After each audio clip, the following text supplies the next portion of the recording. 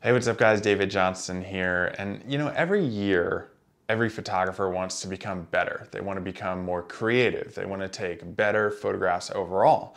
And I came up with a list of five things I think every landscape photographer should do in 2021. And, and starting off on the list is pick up a different technique, a more creative technique. And this can be a lot of different things. This can be a new lens in the field, this can be a new way to photograph with the gear you already have, or this could be something like a post-processing technique that could help you take and produce your vision in, in photography. And you know, one of the things that I've been doing is taking a Velvet 56 millimeter f 1.6, 1.8, something like that, lens from Lensbaby out with me to a lot of the local hikes that I do so many times. And I've photographed basically everything I know to do there. And I've gone back with this lens and I've really photographed some of the minor details with it. And what the Velvet does is put this haziness, ethereal look around the outside of your subject matter. And it's just a totally different approach, totally different effect and technique that I've ever done with my nature photography before. And I've really found that it makes me excited about what's out in nature. It makes me a little bit more creative and it makes me view light in a new way when I'm dealing with these really small subjects. So I think picking up new techniques really helps you see things in a different way, but that can also help you take those newfound appreciations for smaller details, different techniques, and pull them back into your typical landscape photography shooting, helping you get re-inspired and re-energized about your landscape photography as well. Number two on here, I know I just said I picked up this new lens and that was one of my examples, but limiting your gear. If you look on the shelves behind me, this is all I'm going to use in 2021 to photograph what I'm going to shoot. I don't know what I'm gonna find when I go out there, but I'm not going to allow myself to buy new pieces of equipment, buy new cameras, buy new gear. Now, if something breaks, I will replace those, but buying something completely different just so I can kind of go out and rely on that piece of gear isn't something that I'm typically used to doing. It's something that I've kind of used as a crutch in the most recent years. And I discovered this by going through a lot of my older photographs and I thought, man, I was a much more creative photographer when I was first getting started.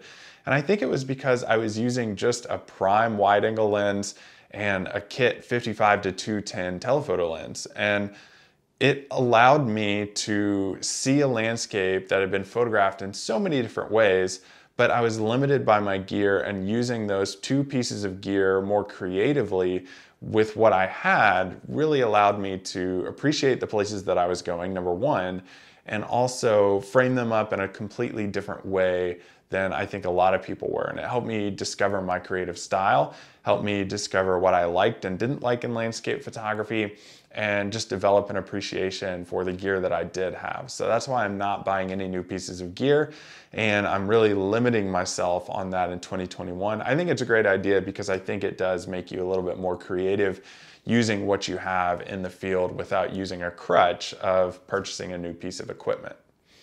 Number three is to draw a three hour drive radius around where you live. Now, I haven't always been the greatest at following this advice that I give people all the time of, hey, if you're struggling getting a lot of photographs, just draw a three hour radius. And I recently did this on Google Earth. I live in a small town in West Tennessee, and I know just east of Nashville is about three hours. So I made points all the way around my hometown.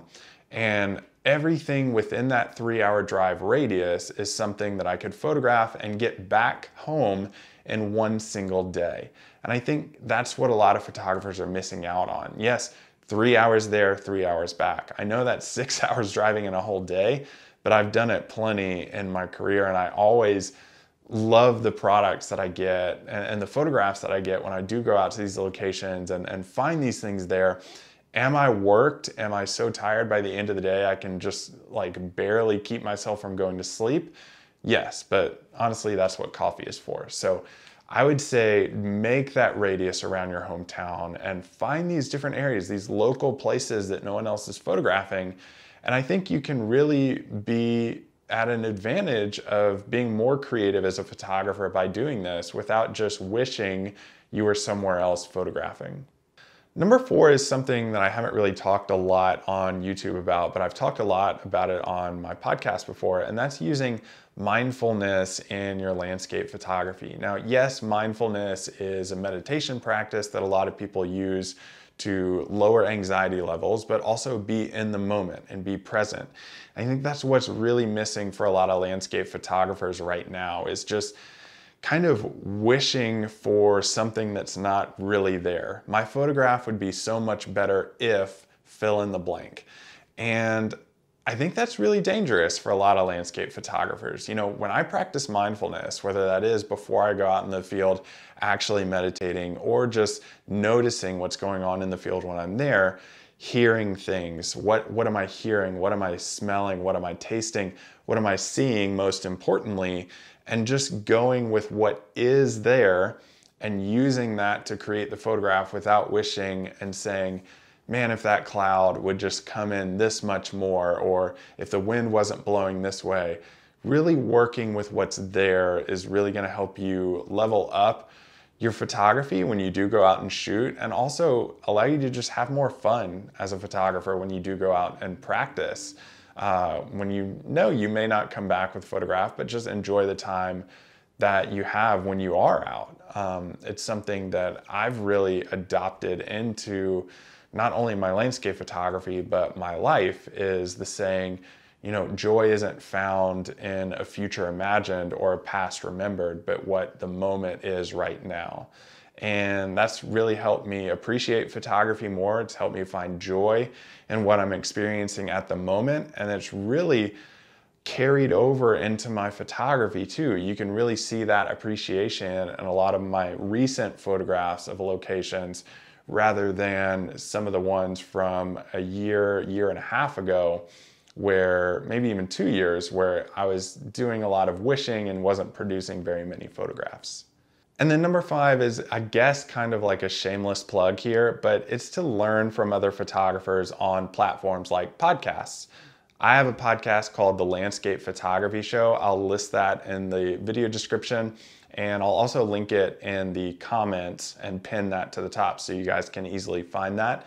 But also, uh, one of my good photography buddies, Matt Payne, he has a great podcast called F Stop Collaborate and Listen.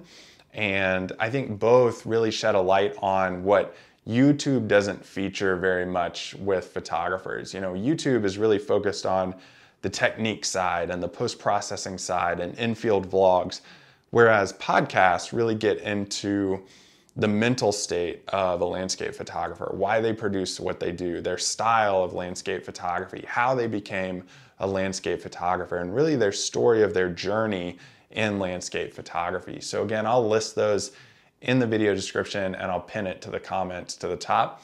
But I really think it's a great way to gain appreciation from a lot of your favorite photographers and also hear why they do what they do, why they take the photographs that they do. And it may give you new vision, new uh, enlightenment, new encouragement, and get excited about landscape photography again.